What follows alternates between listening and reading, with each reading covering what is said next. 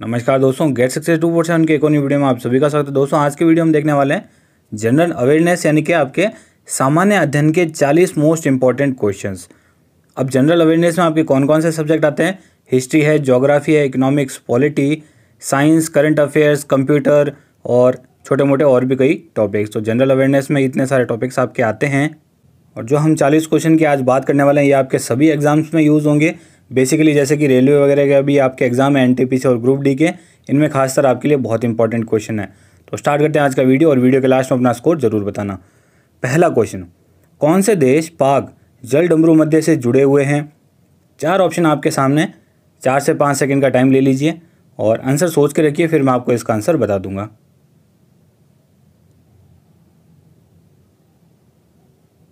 तो पहले का आपका जो करेक्ट ऑप्शन है वो एस सी वाला भारत और श्रीलंका। और ये जो बेसिकली है, पाक जल डमरू इसे पाक स्ट्रेट भी कहते हैं। दूसरा क्वेश्चन किस नदी को बंगाल का शोक नाम से भी जाना जाता है?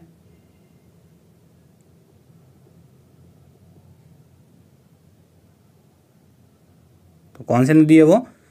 दामोदर नदी बी ऑप्शन आपका यहाँ से करेक्ट हो जाएगा। चलते हैं आज के तीसरे क्वेश्चन की ओर। केंद्रीय चावल अनुसंधान संस्थान कहाँ पे स्थित है?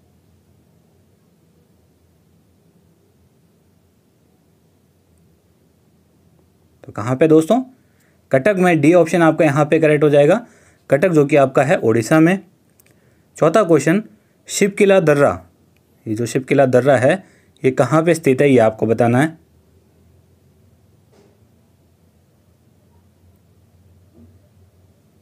तो दोस्तों, ये है बेसिकली हिमाचल प्रदेश में। बी ऑप्शन आपका यहाँ से करेक्ट हो जाएगा। चलते हैं हमारे पाँचवें क्वेश्चन की ओर।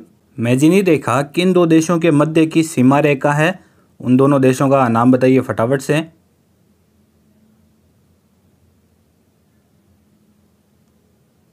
तो क्या होगा दोस्तों, आपका पाँचवें का करेक्ट ऑप्शन ए वाला, जर्मनी एवं फ्रांस। इनके मध्य की जो सीमा रेखा है, उसे मैजिनी रेखा कहा जाता है। छठा क्वेश्चन, हवाई जहाज़ प्राय किस मंडल में उड़ते हैं?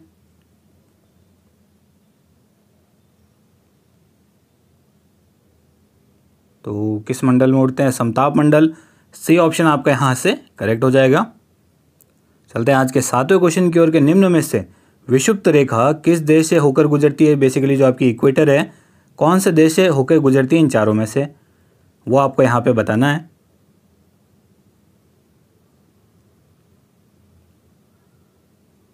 तो यहाँ पे जो आपका करेक्ट ऑप्शन बनता है दोस्तों, वो बनेगा सी वाला। ब्राज़ील। आठवां क्वेश्चन। संविधान के अनुसार तिरंगे की लंबाई एवं चौड़ाई के बीच का अनुपात कितना होना चाहिए? तो आठवें का आपका जो करेक्ट ऑप्शन है दोस्तों, वो है ए वाला। थ्री रेशियो टू इस अनुपात में होना चाहिए आपका तीन रे तीन अनुपात दो में। तो ये आपका करेक्ट ऑप्शन हो जाएगा ए वाला। नौवा क्वेश्चन राज्यसभा का अध्यक्ष कौन होता है?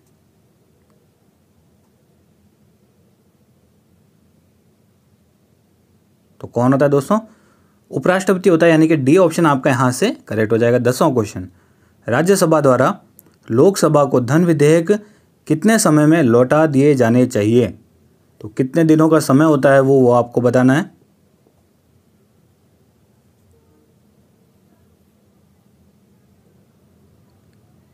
तो क्या होगा करेक्ट ऑप्शन?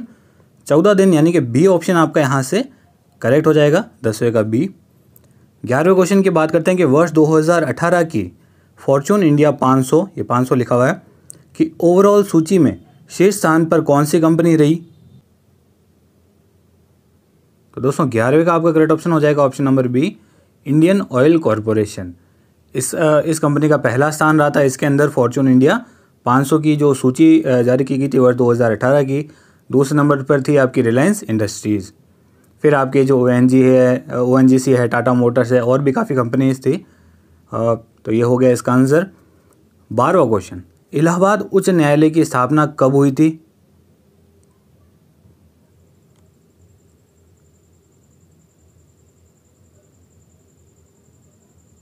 तो कब हुई थी दोस्तों? अठारह सौ छियासठ में। सी ऑप्शन आपका यहाँ से करेक्ट हो जाएगा। ये हुई थी 11 जून को। 11 जून अठारह सौ छियासठ, ये इसकी एग्जैक्ट डेट है। तेरहवा क्वेश्चन, बिहार विधानसभा की सदस्य संख्या कितनी है? यानी कि उसमें कुल सदस्य है, उनकी संख्या बतानी है आपको।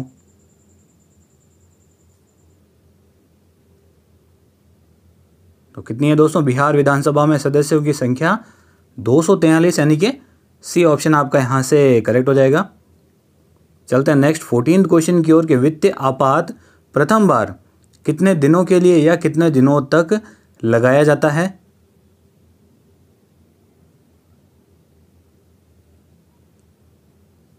तो जो वित्तीय आपात है, वो प्रथम बार लगाया जाता है दो माह के लिए। फोर्टीन का आपका ये ऑप्शन करेक्ट हो जाएगा। पंद्रहवा क्वेश्चन के प्राचीन काल में किस जनपद की राजधानी उज्जैन थी?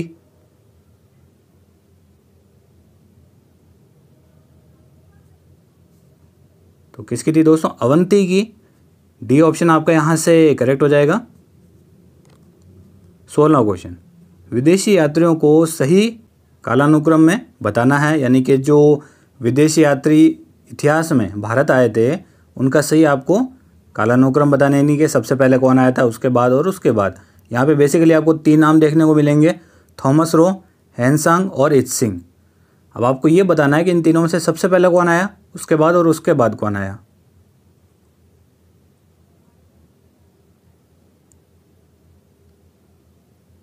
तो सोलवे का आपका जो करेक्ट ऑप्शन होगा वो दोस्तों ए वाला हो जाएगा। वहनसांग सबसे पहले आया था, फिर उसके बाद एज सिंह और उसके बाद थॉमस रो तो ये करेक्ट इनकी सीरीज़ है। सत्रहवा क्वेश्चन भीम बेट का गुफाएँ कहाँ पे स्थित है?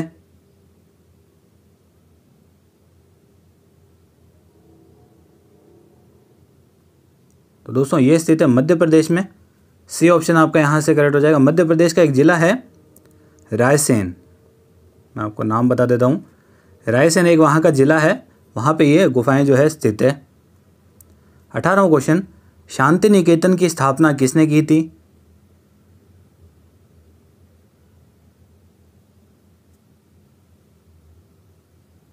तो किसने की थी दोस्तों? रविंद्रनाथ टैगोर ने, यानी कि सी ऑप्शन आपका यहाँ से करेक्ट होगा। चलते हैं उन्नीसवें क्वेश्चन की ओर, कि भारत एक खोज, पुस्तक के लेखक कौन है? ये एक इतिहास की किताब थी, भारत एक खोज। अब इसके लेखक कौन थे, ये आपको बताना है।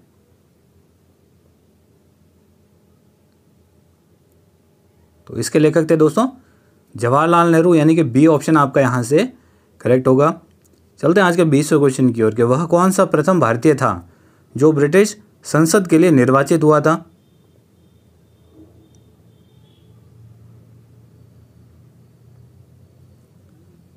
तो दोस्तों, वो थे दादा भाई नोरोजी, जो कि प्रथम भारतीय थे, जो ब्रिटिश संसद के लिए निर्वाचित हुए थे।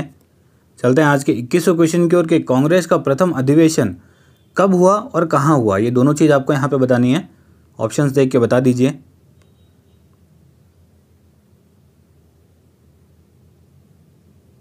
तो कब हुआ था दोस्तों ये? अठारह में हुआ था बम्बई में और दूसरा अधिवेशन हुआ था छियासी में कलकत्ता में, तीसरा हुआ था मद्रास में, सत्यासी के अंदर, चौथा हुआ था इलाहाबाद में अठासी के अंदर। और इसके बाद चलते ही रहे थे, काफ़ी सारे हुए थे, फोर्टी प्लस हुए थे यहाँ पे अधिवेशन। और ये जो था, प्रथम वाला, अठारह वाला बम्बई वाला, इसके जो अध्यक्ष थे, वो थे व्योमेश चंद्र बनर्जी। बाईस का बाईसवां क्वेश्चन नोबेल म्यूज़ियम विश्व में कहाँ पे स्थित है?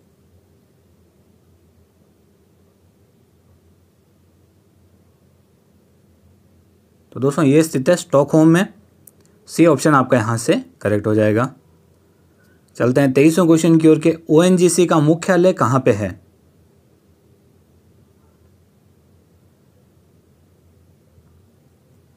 तो दोस्तों, ये है देहरादून में। ए ऑप्शन आपका यहाँ से करेक्ट हो जाएगा। आपने हाल ही में 2018 के अंदर लास्ट में न्यूज़ सुनी होगी कि इसका जो मुख्यालय है, वो देहरादून से दिल्ली शिफ्ट करने की बात कही गई थी, लेकिन हुआ नहीं था। तो इसीलिए ये करंट का भी एक अच्छा क्वेश्चन बनता है। तो करंट के जो इवेंट्स होते हैं, उनमें अगर पहले का भी कोई क्वेश्चन बनता है तो वो आपके एग्ज़ाम में आ सकता है। तो तेईस का आपका ए ऑप्शन करेक्ट हो जाएगा। चौबीसवां क्वेश्चन के राष्ट्रीय झंडा अपनाने वाला प्रथम देश कौन था? तो चौबीस का करेक्ट ऑप्शन क्या होगा दोस्तों? डेनमार्क बी ऑप्शन आपका यहाँ से करेक्ट हो जाएगा। चलते हैं पच्चीसवें क्वेश्चन की ओर, के वह भारतीय गेंदबाज, जिसकी अंतर्राष्ट्रीय क्रिकेट में गेंदबाजी पर आईसीसी ने 28 जनवरी 2019 को प्रतिबंध लगा दिया था। तो उस गेंदबाज का नाम बताइए फटाफट से।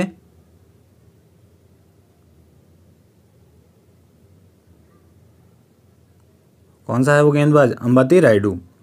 जिनका हाल ही में जो गेंदबाजी का जो एक्शन है वो संदिग्ध पाया गया था और इनकी गेंदबाजी पर एक बार के लिए प्रतिबंध लगा दिया है आईसीसी ने 2019 में, जनवरी 2019 में। चलते हैं छब्बीस क्वेश्चन की ओर कि किस देश की सरकार ने एक ऑनलाइन पोल के आधार पर गन्ने के रस को अपना राष्ट्रीय जूस, यानी कि नेशनल जूस, जनवरी 2019 में घोषित किया। तो उस देश का आपको नाम बताना है। यह आपके करंट के क्वेश्चन चल रहे हैं अभी? तो वो कौन सा देश है? पाकिस्तान। डी ऑप्शन आपका यहाँ से करेक्ट हो जाएगा।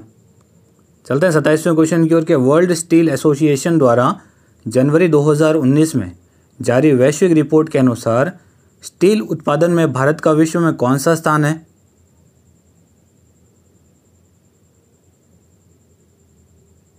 तो भारत का स्थान है दूसरा। सी ऑप्शन आपका यहाँ से करेक्ट हो जाएगा। अट्ठाईसवां क्वेश्चन। इसरो द्वारा कलाम सेट वी टू तथा माइक्रोसेट आर उपग्रहों का सफल परीक्षण 24 जनवरी 2019 को किस प्रक्षेपण यान की मदद से किया गया? तो उस प्रक्षेपण यान का नाम बताइए।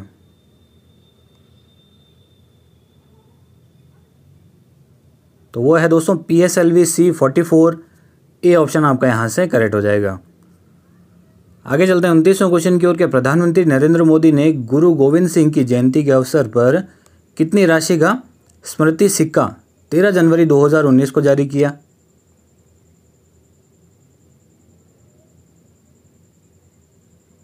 तो कितने रुपए का सिक्का जारी किया था? तीन सौ पचास का। ठीक है? सी ऑप्शन आपका यहाँ से करेक्ट हो जाएगा। चलते हैं आज के तीसरे क्वेश्चन की ओर के पूरी तरह से भारत में बनी ट्रेन देश की पहली सेमी हाई स्पीड रेलगाड़ी, जिसे कहते हैं ट्रेन अठारह, को किस नाम से जाना जाएगा? या किस नाम से अब जाना जाता है?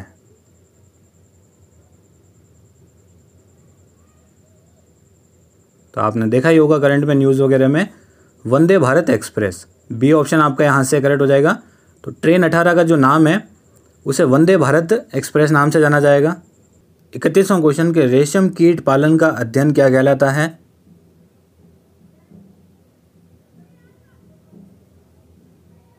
तो दोस्तों, ये कहलाता है सेरिकल्चर। ए ऑप्शन आपका यहाँ से करेक्ट हो जाएगा। बत्तीसवां क्वेश्चन के संवेग का ऐसा ही मात्रक क्या है? ध्यान से देखिए, चारों ऑप्शन आपके सामने दे रखे हैं। ऐसा यूनिट बतानी है आपको संवेग की। तो यहाँ से करेक्ट ऑप्शन क्या हो जाएगा? सी वाला। के जी मीटर पर सेकेंड, ठीक है?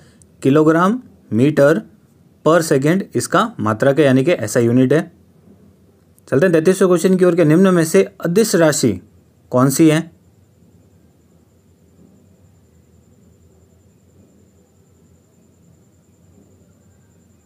तो वो है दोस्तों कार्य।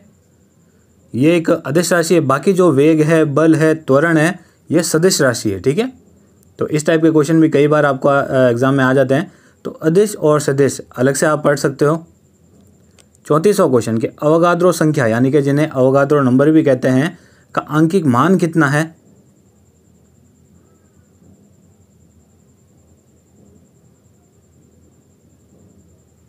तो वो हो जाएगा आपका डी ऑप्शन करेक्ट हो जाएगा।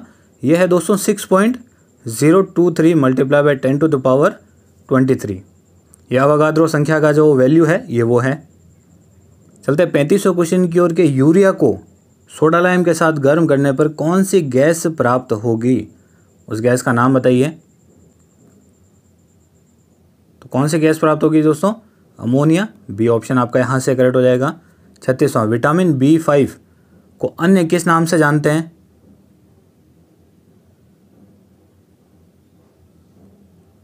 तो किस नाम से जानते हैं दोस्तों? नियासिन, यानी कि ए ऑप्शन आपका यहाँ से करेक्ट हो जाएगा। छत्तीस का ए ऑप्शन करेक्ट है। सैंतीसवां क्वेश्चन कि किस हार्मोन के अल्प श्रावण से बचपन में शरीर वृद्धि रुक जाती है?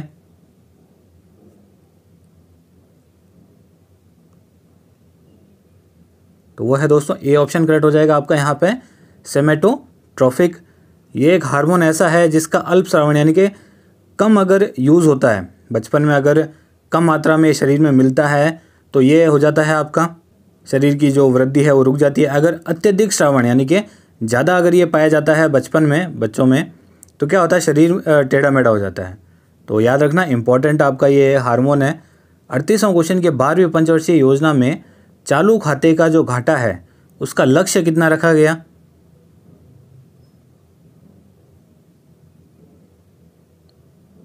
तो कौन सा ऑप्शन करेक्ट होगा? आपका सी वाला हो जाएगा टू पॉइंट नाइन परसेंट ठीक है? इतना लक्ष्य गया रखा गया था टू पॉइंट नाइन परसेंट चलते हैं आज के उनचालीसवें क्वेश्चन की ओर कि रेल मंत्रालय के अधीन आने वाले सार्वजनिक क्षेत्र के उपक्रम, रेल विकास निगम लिमिटेड आरवीएनएल की स्थापना कब हुई थी? तो कब हुई थी दोस्तों इसकी स्थापना? 2003 में। बी ऑप्शन आपका यहाँ से करेक्ट हो जाएगा। चालीसवां क्वेश्चन कि आईबीएम का पूर्ण रूप क्या है? यानी कि फुल फॉर्म क्या है?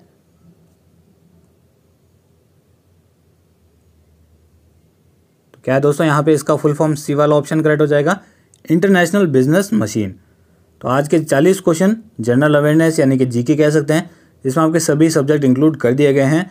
क्या रहा आपका स्कोर कमेंट करके ज़रूर बताना। और ऐसे वीडियो चाहते हो तो चैनल को सब्सक्राइब कर लेना और बेल आइकन को क्लिक ज़रूर करना, ताकि जैसे ही वीडियो अपलोड करूँ, आपके पास नोटिफिकेशन आ जाए।